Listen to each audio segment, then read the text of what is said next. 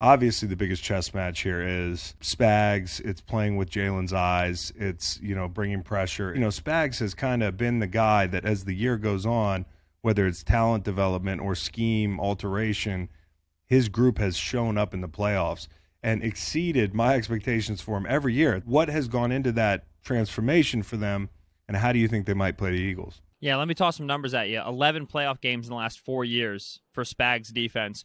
Only two times has his defense had a success rate below 50%.